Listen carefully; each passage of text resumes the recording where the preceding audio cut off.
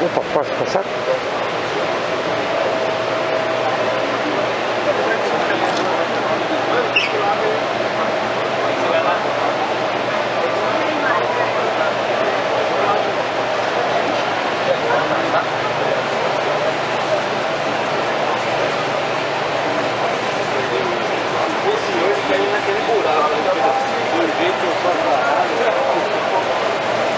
Esse aqui não tem nem vidro.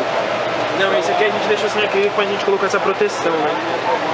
Nossa, Mas o acrílico é basicamente uma proteção dele. Não, se tiver tipo exposto no alto assim, não tem necessidade não, do não precisa de Não.